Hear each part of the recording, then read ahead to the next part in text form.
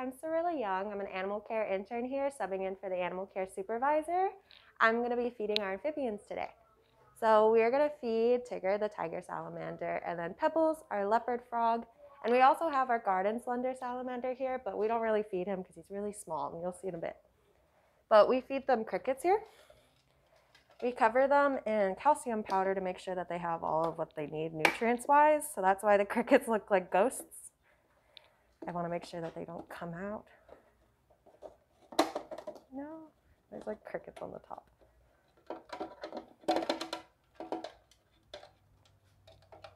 Oh, they're all there.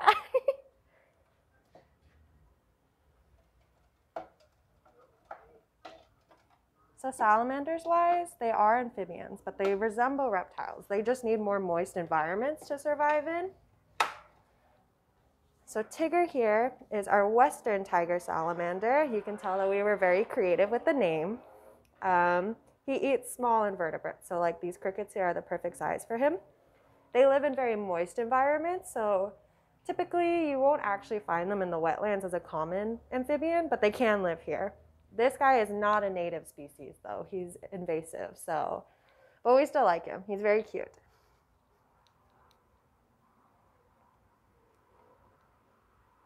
So salamanders wise are interesting. What makes them different from reptiles is they respire through their skin. They don't have lungs. So with the garden, uh, the western tiger salamanders, they have to respire in moist environments. So that's why their skin is constantly needed to be wet. So his environment here is resembles the west, the moist environments that they have to survive in. So we make sure that he has a lot of water here and a lot of water in the soil as well. Let's see if we could get the crickets to come closer to him.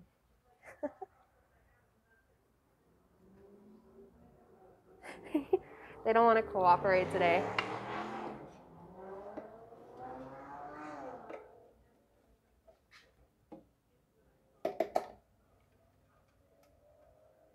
Maybe if we give more. There we go. He got one today. You can see it barely fits in his mouth. so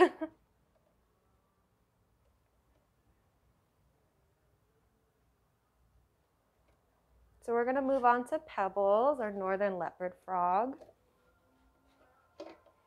He's been very hungry today, so hopefully we'll be able to catch him eating.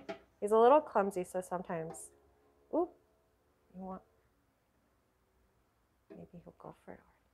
Oop, got one already. So frogs, especially pebbles here, are very interesting to watch eat because if you catch them at the right moment, you can see that they blink to help them chew food.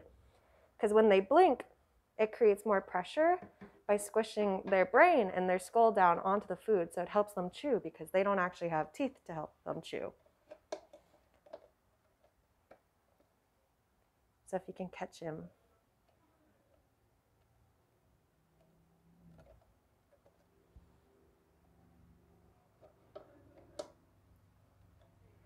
Fun fact about the northern leopard frog, he's the state amphibian for Minnesota and Vermont.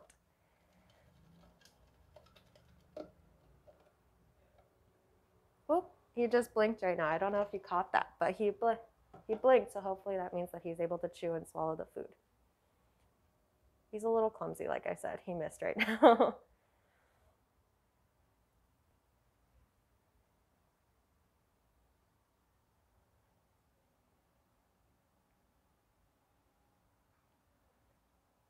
There we go. So they live about five to eight years. So that's why frogs are usually a more common pet because they can survive a little bit longer than other amphibians do. And then our last amphibian that we won't show eating because it's really hard to catch. I think he's over here.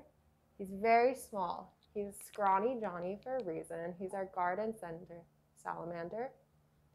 Um, we don't actually have fed him anything, but we think that with the algae and the moss rotting in here, that there might be small little white bugs that he's been feeding on. He's too small for any of the crickets, so. And that's it for animal feeding today. Catch us next week and we'll be feeding our tide pool animals.